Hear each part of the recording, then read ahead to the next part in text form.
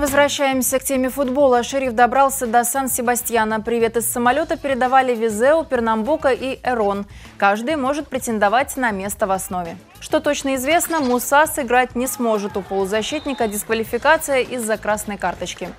Не стоит рассчитывать и на Тим Вена. У нигерийца перебор желтых. Самый сложный вопрос – кто будет защищать ворота.